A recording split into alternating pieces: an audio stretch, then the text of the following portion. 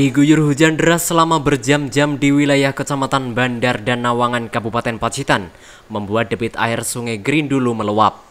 Luapan air Sungai Grindulu ini pun menggenangi ratusan rumah penduduk di desa Kecamatan Arjo Sari Pacitan pada Senin malam. Air sungai yang meluap ke pemukiman warga ini pun mencapai ketinggian lutut orang dewasa.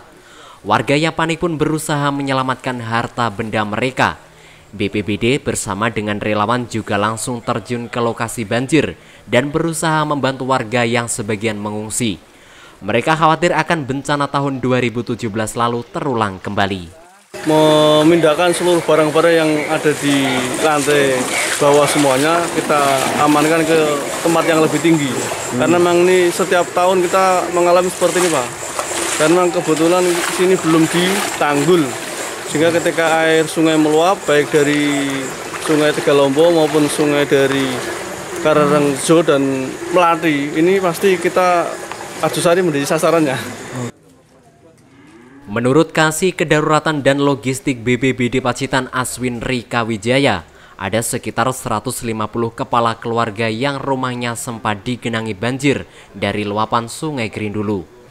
Meski genangan air hanya setinggi lutut orang dewasa namun mereka tetap was-was dan terus memantau kondisi sungai.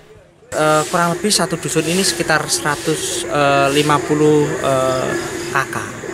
Ya, akan tetapi itu tidak signifikan, tidak semuanya masuk ke dalam rumah. Itu cuma di ambang batasnya aja. Karena di sini rumah-rumah di sini seperti kita ketahui juga eh, tinggi-tinggi uh, seperti itu. Beruntung debit air semakin surut, warga yang sempat mengungsi pun mulai kembali ke rumah mereka masing-masing dan membersihkan sisa lumpur bekas banjir di pekarangan rumah mereka. Edwin Aji, CTV, Pacitan.